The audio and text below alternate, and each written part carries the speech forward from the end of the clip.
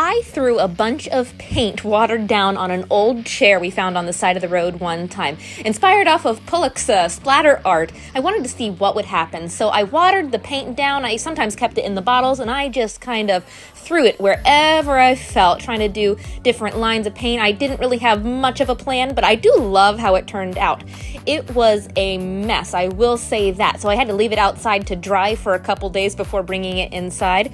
But it turned out really, really nice. It makes a perfect studio chair, and I still use it today. The only different thing I would do if I did it in the future is I would add fabric paint medium in with it uh, to make the paint a little bit smoother. But I still use it, and Plushy Bob sits on it now.